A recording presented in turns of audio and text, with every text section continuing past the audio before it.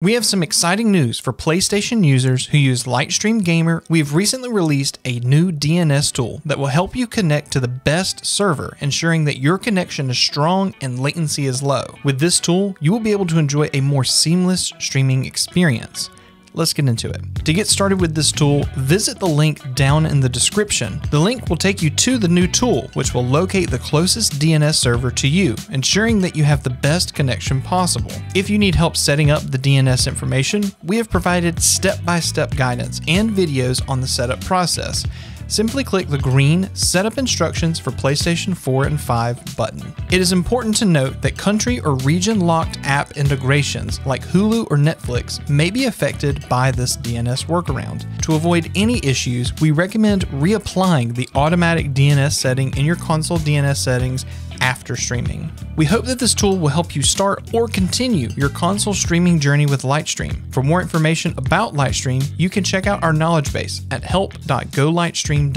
Additionally, we have a playlist on screen that features console related videos, so don't forget to check that out as well. We'll see you over there.